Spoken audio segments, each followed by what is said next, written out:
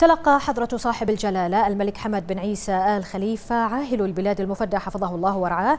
برقية تهنئة من سمو الشيخ محمد بن مبارك آل خليفة نائب رئيس مجلس الوزراء. وذلك بمناسبة الذكرى الثالثة والخمسين لتأسيس قوة دفاع البحرين. أعرب فيها سموه عن خالص التهاني والتبريكات بهذه المناسبة الوطنية. مشيدا سموه بدور قوة دفاع البحرين في حماية الوطن والحفاظ على مكتسباته وإنجازاته. في ظل ما شمل لها جلالته من دعم وتوجيه منذ تأسيسها وحتى أصبحت مبعث فخر للوطن وأبنائه لما وصلت إليه وكافة منتسبيها ضباطا وأفرادا من كفاءة وتدريب بما يمكنهم من القيام بدورهم النبيل وأداء الواجب تجاه الوطن والحفاظ على أمنه ووحدة وسلامة أراضيه.